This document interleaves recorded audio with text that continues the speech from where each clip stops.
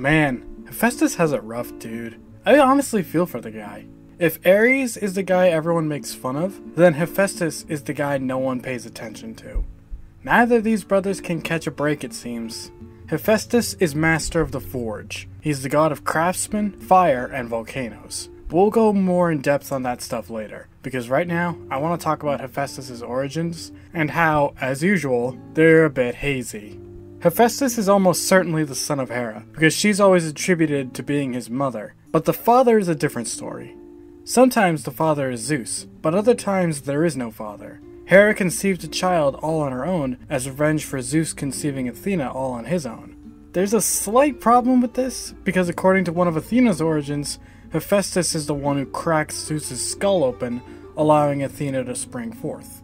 Don't try to make a coherent timeline of it, there are often multiple versions of the same story due to the nature of ideas drifting. Regardless, though, Hera is the mother of Hephaestus. You would think Hera, being the goddess of motherhood and all, would treat her own children differently than the way she treats Zeus's illegitimate children, but you'd be wrong.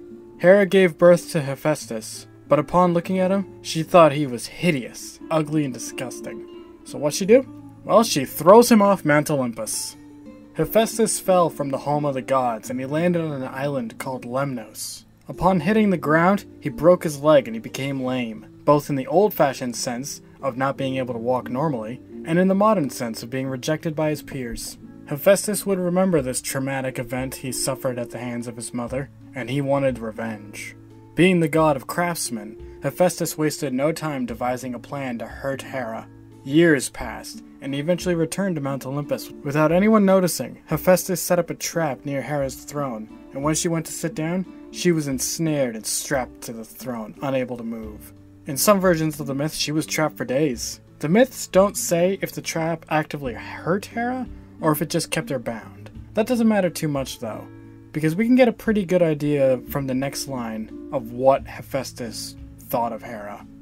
All the Olympians begged and pleaded to Hephaestus, asking him to free Hera, but he simply responded, I have no mother. Yikes, no father and rejecting your mother? Poor Hephaestus, jeez. Hephaestus would eventually free Hera after he went out for drinks with Dionysus, and Dionysus got him very drunk. After Hera was freed, Hephaestus demanded a spot on the Olympian Council, which the Olympians allowed, surprisingly. Maybe they felt bad for poor old Hephaestus, or maybe they didn't want him to trap all of them. Either way, Hephaestus became an Olympian. Now that he was an Olympian, Zeus and Hera decided to marry Hephaestus off to Aphrodite. This was done to ensure there would be less fighting amongst the gods, because everyone wanted a piece of Aphrodite. This marriage didn't last long though, because if you remember, Hephaestus is ugly, and Aphrodite, the goddess of beauty, did not want to be seen with an ugly person. Aphrodite wasn't satisfied with her marriage to Hephaestus, so she cheated on him with Ares, his own brother. Wow. Ares, Aphrodite? Jerk move, guys. Jerk move. You both deserve the hate you get. When Hephaestus learned about this affair, he was understandably pretty pissed. But he waited, and he made a plan.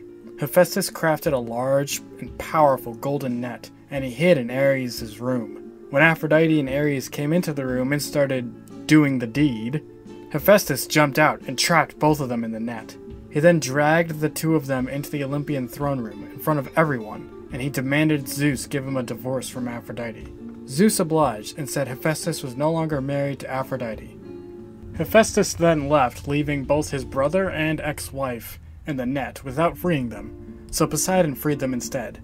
To thank him, Aphrodite slept with Poseidon. Man, for a goddess of love, she sure has no problem cheating on people. After divorcing Aphrodite, Hephaestus was on the lookout for a new wife, so he tried something with Athena. The problem was, it was a classic case of miscommunication. He thought it was a date, she thought it was just two friends hanging out, the usual. Things quickly turned south, however, when Hephaestus tried forcing himself on Athena. Bit of a fedora tipping nice guy moment there, not gonna lie. Athena ain't a pushover though, as she forced Hephaestus off of her. Athena then wiped some of the Hephaestus juices onto the ground. And apparently, Gaia was feeling pretty horny, because she absorbed what Athena wiped off, and as a result, Gaia and Hephaestus technically had a child together. His name was Erichthonius, and he was a legendary Athenian leader. Just a mortal though.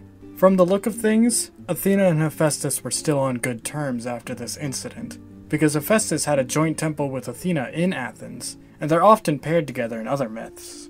Maybe she had a talk with him about how that was wrong and he learned his lesson. I don't know, character development in mythology is possible. Hephaestus is never seen forcing himself on anyone again, anyways. So who knows? After failing with Athena, Hephaestus tried going after Persephone, but everyone was trying to go for her, so he didn't stand a chance. Hephaestus had a few mortal lovers and then a few nymphs, each of whom gave him lesser gods and demigod children, but none of them are too noteworthy, except for Aetna. Aetna was a nymph who lived near Mount Etna in Sicily, and she was the one who Hephaestus had his happily ever after with. I don't know if the mountain is named after the nymph or if it's the other way around, but that doesn't matter too much. What matters is that Hephaestus loved this nymph so much he moved his forge down to Mount Etna from Mount Olympus just to be with her more. This is actually the mythological reason for Mount Etna's activity. To the ancient Greeks, they believed that Hephaestus was working in his forge, and that's why the volcano went off. Well, that and the massive fire breathing monster underneath, but that's a story for another time. Between his forges on Mount Olympus and Mount Etna, Hephaestus has made all sorts of inventions and powerful weapons, some of which I'll list right now, but his most famous pieces are probably Achilles' armor and Talos. No, not that one.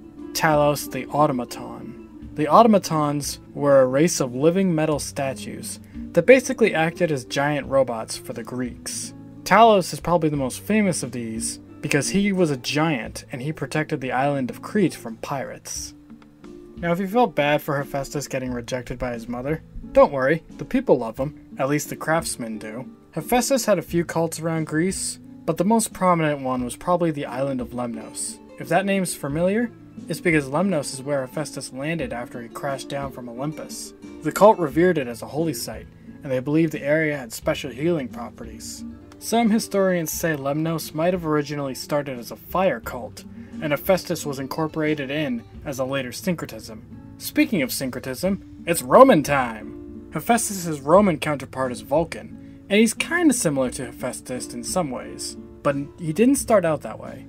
Vulcan was originally a god of furnaces and fires, but he had strong connections to Vesta, Hestia's Roman equivalent, that are noticeably absent from Hephaestus. Vulcan's emphasis on fire over craftsmanship made him a more popular god than his Greek version. The Romans had a festival called Vulcanalia, where they would make large bonfires and pray to Vulcan asking him not to burn their food or towns.